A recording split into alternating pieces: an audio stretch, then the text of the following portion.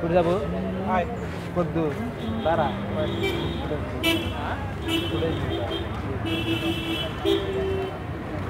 আচ্ছা ও বাবা গো। মানে দুটো দুই মাথা। আট হাজারই আট হাজারের থেকে আগ্রাবাদ মানে দুটা দুই এই বেটা আমরা কি যাচ্ছি যে শহর থেকে যে কিছুক্ষণ হাঁটতে হয় এরকম? আগ্রাবাদ কত বিশ টাকা না কত টাকা ভাড়া ওইটাতে